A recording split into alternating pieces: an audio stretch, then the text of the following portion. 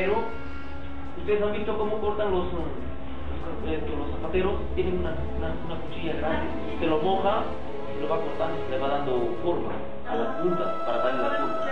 ¿Ya? Es eso. Otro, otro trabajo, mira, acá tenemos una variedad de, de trabajo. Miren, acá otro, miren. ¿Ya? Miren, esos son, son, no, son ganchos de, que cuelgan para coger la ropa, ¿no?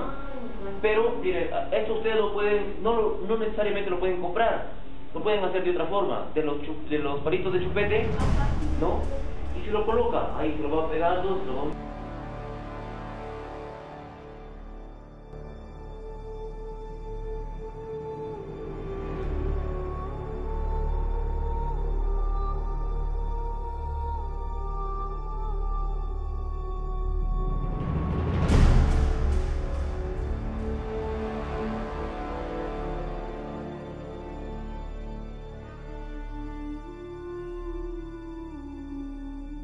¿no? Se lo corta y se limpio, ¿no?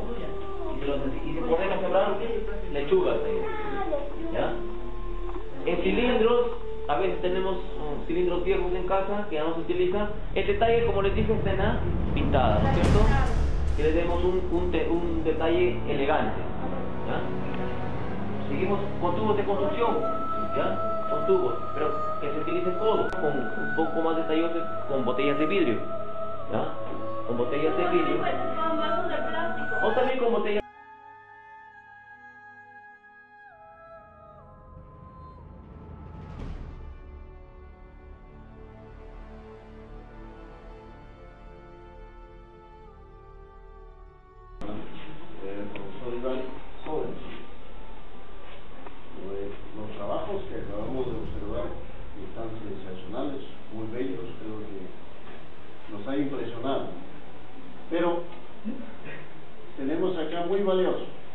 Es el arte. El arte no solamente es pintar, es darle vida a las cosas inservibles, a las cosas desechables. ¿Correcto? Es el arte. Aquí están manifestando, ver, siga pasando ahí, están manifestando cómo se lo recupera las cosas que ya no sirven, ya están deterioradas, están acabando, y se le está dando otra vez. Pero también tenemos algo muy valioso ahí, lo que es la creación de Dios. Tenemos un sinnúmero de plantas un sinnúmero de plantas que nosotros podemos, no estamos acá desechando, no estamos olvidando que sí podemos darle vida y nos va a servir como belleza y adorno de nuestros hogares. ¿Correcto? Miren, en la textilería es- ya entra la creatividad humana, el arte, es el arte, ahí está, a través del color, ¿no? la forma, y le da la belleza artística. ¿Correcto? Eh, miren, no solamente eh, este tipo de trabajos, yo he tenido la suerte de observar, miren, jardines frutales con neumáticos, plátanos, papayas y manzanas, lo hacen con los neumáticos lo pegan ellos con pernos, luego si le dan la pintada y entran los plátanos. Los platanitos, los enanitos, fácilmente pueden sembrar. Y hay unos platanitos que están de este tamaño, a un metro y medio, metro ochenta, y van a verlo cómo están hermosísimos. Y no es necesario de tener bastante ambiente. O sea, con esta forma que le están motivando nosotros, también nos va a llevar a nosotros a tener otra creatividad por ejemplo, con los neumáticos.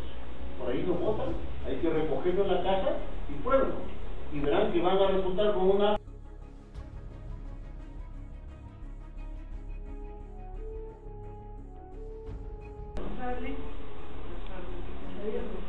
Yo creo que eh,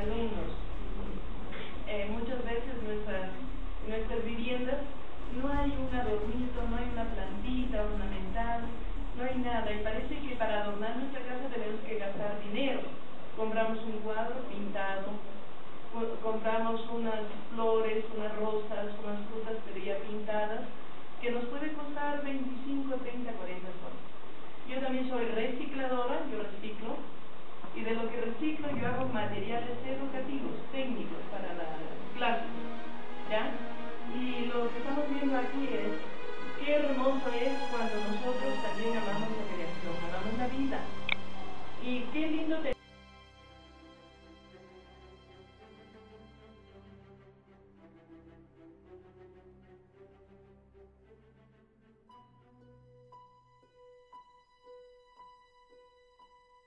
ollas, una media docena de ollas, desde las más grandes a las más medianas, por 130 soles del basural, de las basuras, que reciclado, vendí y compré mis paletas. Fue todo el recuerdo y hasta cuando sea viejita. ¿Ya? Luego huevitos derritiendo, eh, ¿cómo se dice? No, eh, mojando papel higiénico, bien mojadito, después lo molino para que esté muy sueltito y he hecho los huevitos. Y lo pintaron por encima con stippers. Pintaron por encima. de alambre, un poquito.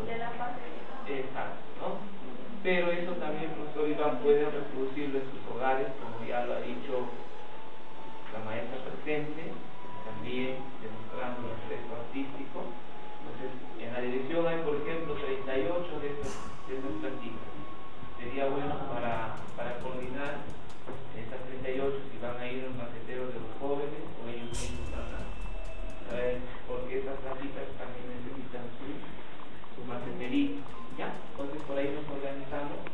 Entonces el día de hoy quedó clarísimo que ellos tienen que recolectar sus, materiales para poder hacer obras de arte que dijo el doctor Teodoro que tengan vida, que tengan vida eh, y que eso nos permite a nosotros mejorar nuestros días.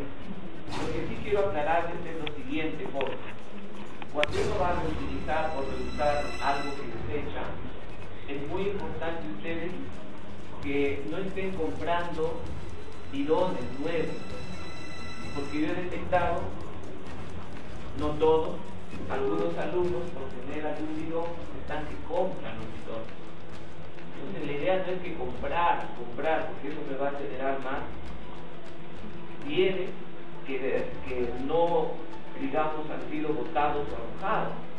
Entonces es muy importante que ustedes traten de eh, buscar ese material que está en casa que no se utiliza, ese material que está en el vecino, que existe en la tienda que no se utiliza, o ese material abundante, por ejemplo, ayer con las profesoras mechoras sacamos botellas y ahí hizo eh, botellas que se pueden, digamos, dar forma para dar eh, espacio para la tierra y sembrar una plantilla.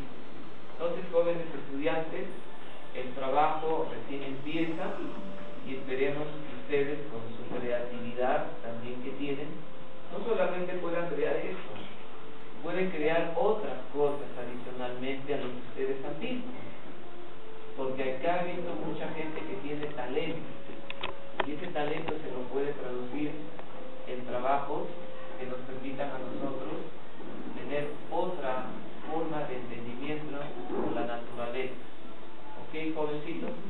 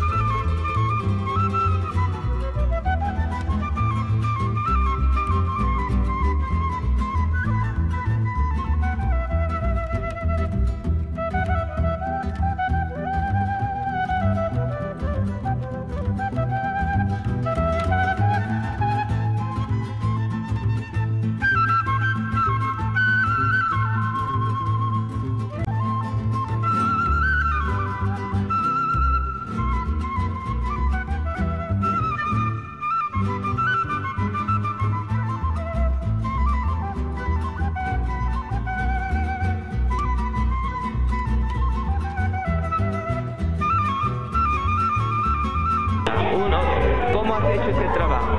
Karina Cárdenas.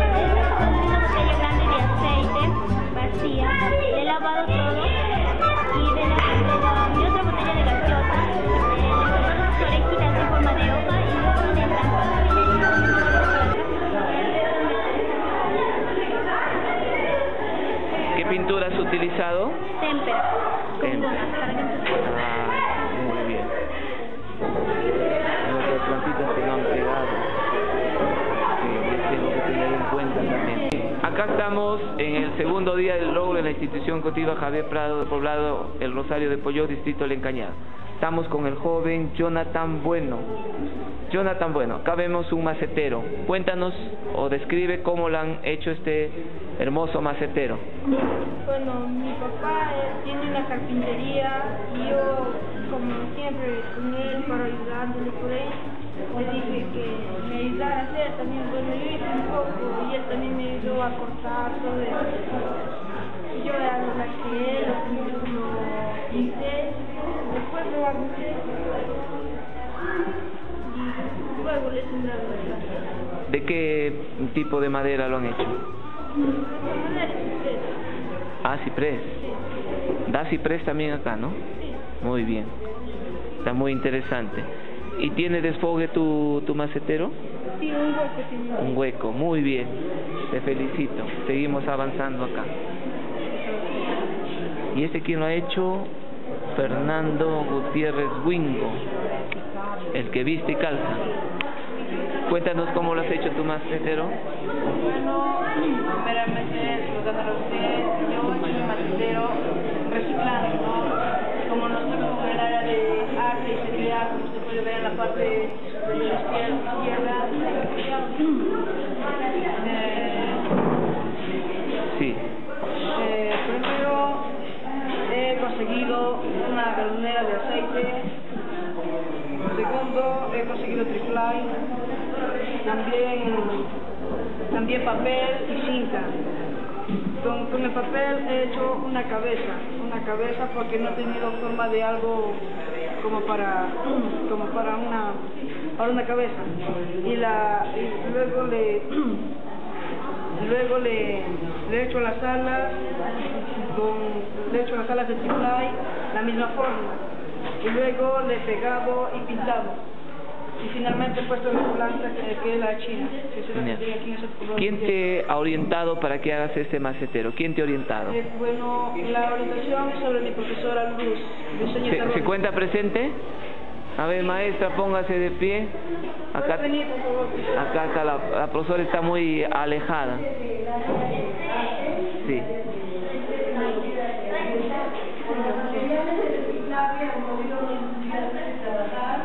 con mucho este, trabajo, como son este, los artistas, los recetaritos de arroz, este, un carrito que luego se trata de muchos más, que hay chicas que no han cumplido con su trabajo. Muy bien, maestra, felicitaciones, pues. Esto, ¿y la mariposita de dónde se te ocurrió esa idea? Eh, ¿Cómo surge? Es que en, en casa, por donde vivo, hay hierbas, ¿no? Y siempre veo mariposas. Y como sé cómo son las mariposas, me puedo agarrar una y le echo. Como es fácil de hacer también. Qué bueno. ¿Y la planta cómo se llama la que has sembrado? La planta, bueno, en mi pueblo se llama chira, después no sé cómo se llama. Yo también la conozco como achira. En mi casa. Esto, el tema es que esta chira, mi estimado técnico Baptista, ¿soportará el paso del tiempo?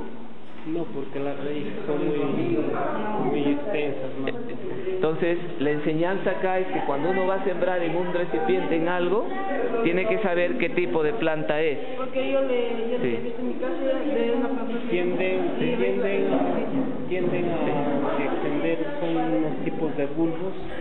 A bulbo, sí. Sí. Pero es una sugerencia, si tú lo puedes cambiar en buena hora, ¿no? que es recomendable para mantenerla en forma, es cortar la raíz continuamente cada de dos o de tres meses y cambiar el sustrato. Sarita.